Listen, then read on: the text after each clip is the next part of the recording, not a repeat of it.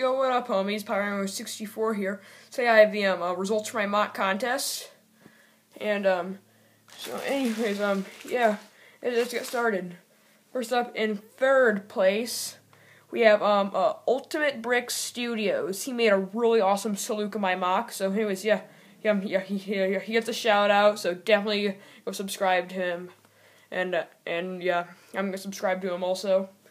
And, uh, and in second place, um, we have um, Epic Bricks with his um, Republic Outpost on Kashyyyk MOC. So Epic Bricks, um, make sure some of your address. This little poly bag right here is yours. Um, and finally, in first place, the the, the interceptor is drumroll please. Aussie Lego Builder with this awesome um based on Kashyyyk.